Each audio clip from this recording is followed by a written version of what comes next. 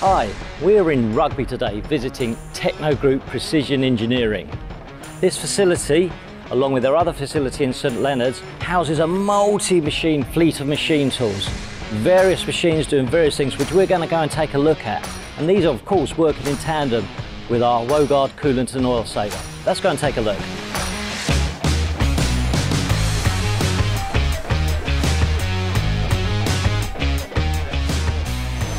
Adam, great to be here today. Morning, Jason. How's things?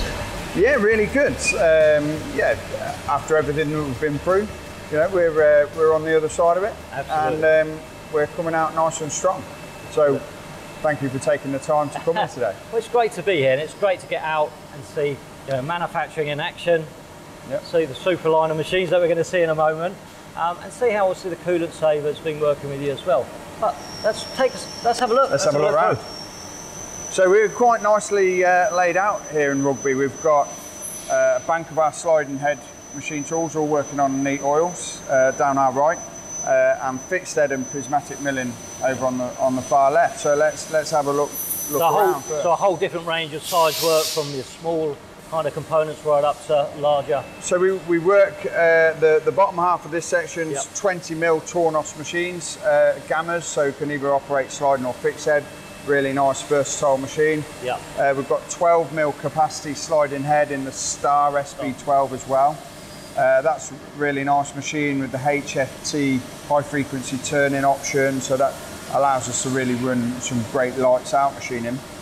Then we've got uh, Obviously, all with the oil savers as well. Absolutely, yeah. So everything on neat oil, which is Yeah. really important for us, recovering that from the Yeah. swarf bin.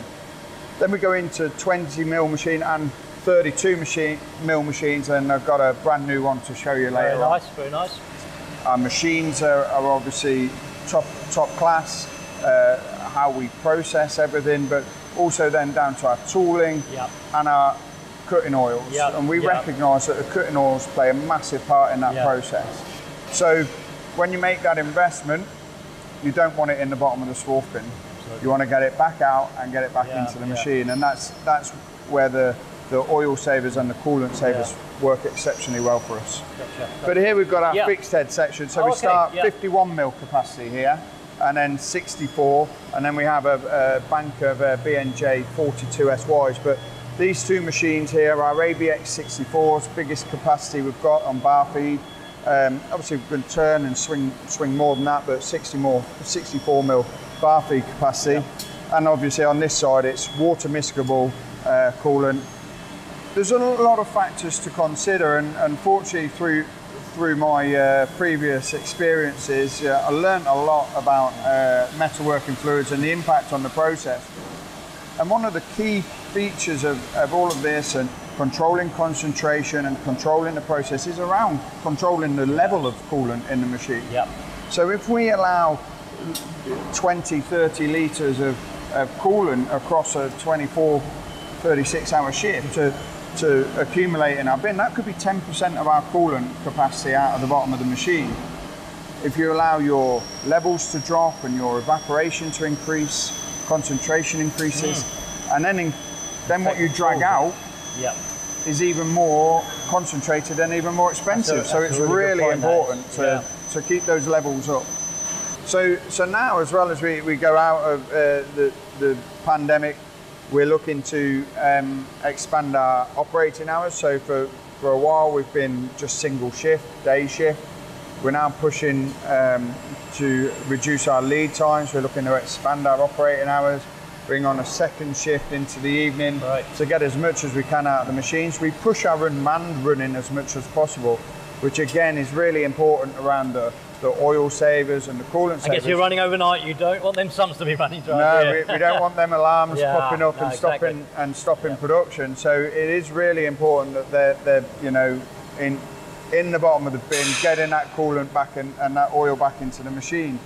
So we're looking to do that to hopefully reduce our uh, our lead times and and get our, our throughput from the factory even more. So this is our uh, this is our latest machine investment, uh, brand new Citizen M32 uh, Series 5 machine. So uh, facing our Series 4 machine, and um, thi- this was uh, this is a, a great machine tool. As soon as it's hit the ground, it's been into production. It has the LFV technology Oh, on it. from- the vibration? Yeah, so you so can the- really hit the components, yeah, the chip so it's an oscillation. It's quite a, a, a complex path from the, you know, it's all controlled within the control from Citizen. Yeah. Brilliant, brilliant technology, and works on a massive range of materials.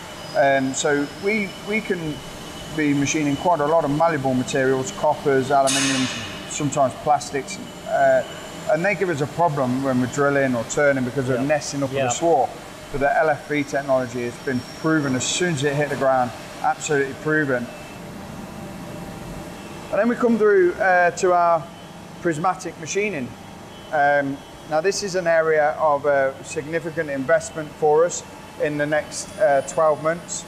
We have a, a project that we're uh, looking to fund with um, uh, some aerospace funding, um, introduce full five axis capability, robot loaded, Oh, okay. but then introducing in there as well uh, an inspection So the whole capability. the whole ability to check, So- adjust, and Absolutely.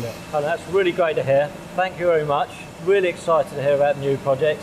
Um, and it's such a lo- nice, clean air and hopefully that's something we've, we've uh, helped with as well. Certainly has. And uh, look forward to seeing the new project when it gets going. Thank you, Jason. Brilliant. Thank you, Adam. Cheers. Thank you.